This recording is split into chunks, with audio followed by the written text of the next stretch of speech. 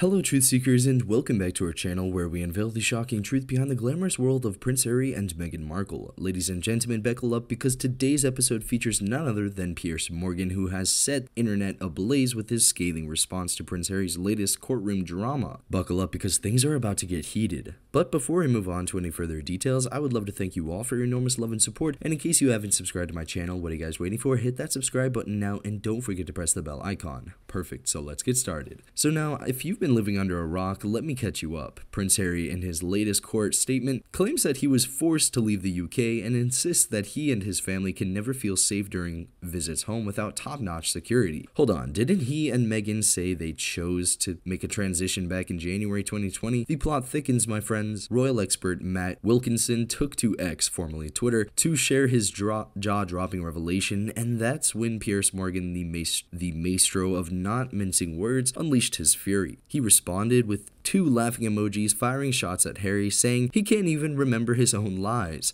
Ouch, the courtroom drama just got a whole lot juicier. Let's dissect this for a moment. Harry's lawyers argue that changing his security arrangements post his royal departure was unlawful and unfair, given his royal status and tragic history of his mother, Princess Diana. Now, call me a skeptic, but wasn't it Harry and Meghan who decided to step down as senior working royals and jet off to the US for a more private life? This courtroom saga is turning into a real life soap opera, and Piers Morgan, love him or hate him, is not holding back. The hypocrisy, the contradictions, and the audacity of claiming victimhood after willingly leaving the royal spotlight are all on full display. It's a spectacle and we can't look away. What's particularly intriguing is Harry's selective amnesia when it comes to his own statements. Forced to leave, you say? Piers Morgan is just one of many calling out the prince for what appears to be a convenient rewriting in history. The courtroom battle is turning into a war of words, and it seems Harry may have bitten off more than he can chew. As the drama unfolds, we cannot help but wonder is this a desperate attempt to regain sympathy, a ploy to rewrite the narrative, or perhaps just another chapter in the playbook of Harry and Meghan's relentless quest for the spotlight? Only time will tell.